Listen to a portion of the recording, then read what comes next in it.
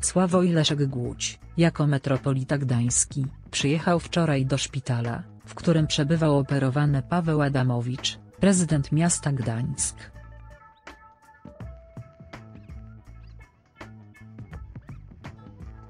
Arcybiskup modli się za rannego, prosząc o cud w obliczu tragedii i namawia do okazania wsparcia rodzinie, z którą łączy się w bólu.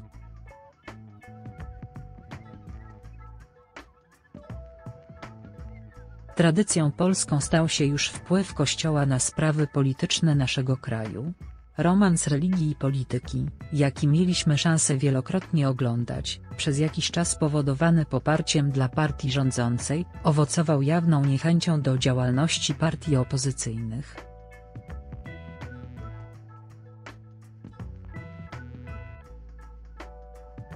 Szczególnie negatywnie komentowane były poczynania Platformy Obywatelskiej, oskarżanej o działania wbrew społeczeństwu.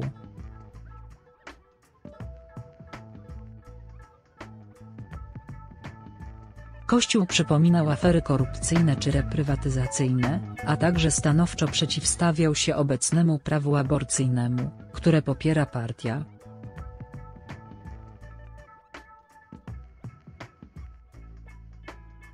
Jednocześnie jednak Kościół nadal ma obowiązek dawania przykładu właściwych działań i postaw, które spełniają zasadę powszechności.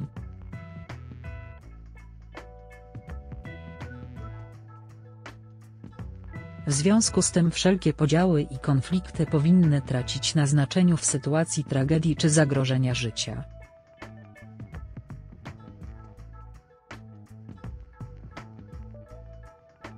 Właśnie taką postawę przyjął Sławoj Leszek Głódź pojawiając się w Uniwersyteckim Centrum Klinicznym, w którym przez pięć godzin operowany był prezydent Gdańska.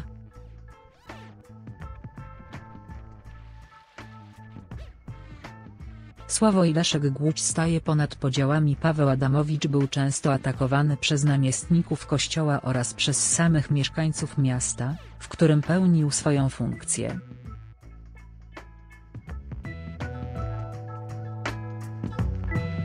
Był oskarżany o korupcję oraz niewłaściwe, nieprzemyślane zarządzanie przestrzenią miasta.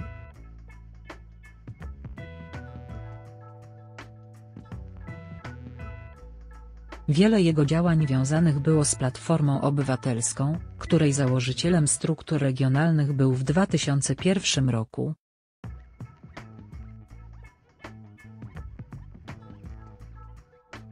Prawdopodobnie te powiązania pozwoliły Stefanowi W. na dokonanie ataku, w sposób najbardziej widoczny.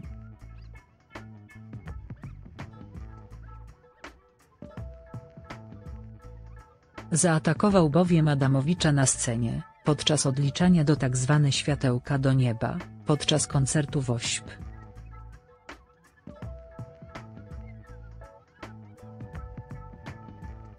Wykorzystał fakt, że jest to moment szczególnie obserwowany, a więc doskonały do swego rodzaju happeningu.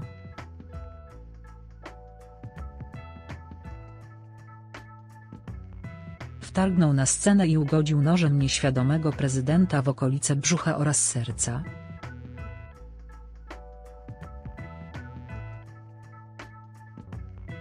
Co ciekawe, miał nawet czas na wyjaśnienie swoich motywacji jeszcze zanim został pojmany, krzycząc że w więzieniu był torturowany, a za wszystkim stać miał PO.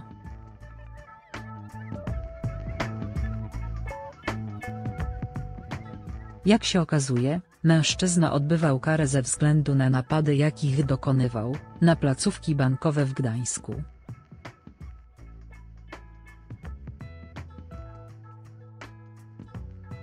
Mimo wszystko połączył swoje przeżycia, rzeczywiste lub nie, z działalnością polityczną Adamowicza i postanowił dać upust swojej frustracji, prawdopodobnie wynikających z zaburzeń psychicznych.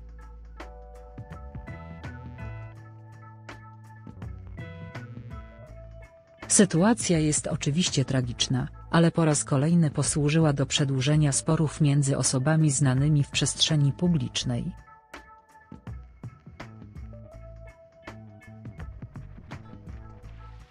Na szczęście tym razem Kościół, w osobie metropolity gdańskiego pokazał jak ważne w takim momencie jest trwanie przy osobie poszkodowanej oraz jego rodzinie, okazanie wsparcia i oczywiście zjednoczenie się w modlitwie.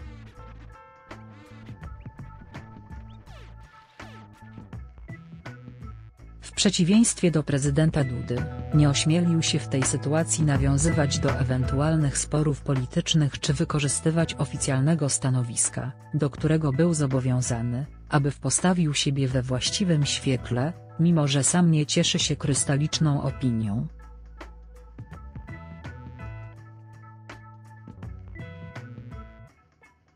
Sławoj Leszek Głódź skupił się nad tym co najważniejsze i co jest najbardziej ludzką reakcja, poprosił więc wiernych o modlitwę, której sam się oddał oraz jawnie potępił akt terroru jakiego dokonał napastnik.